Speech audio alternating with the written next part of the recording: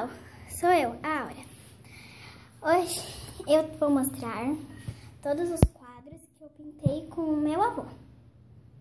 Aqui está a Manu, o primeiro quadro é uma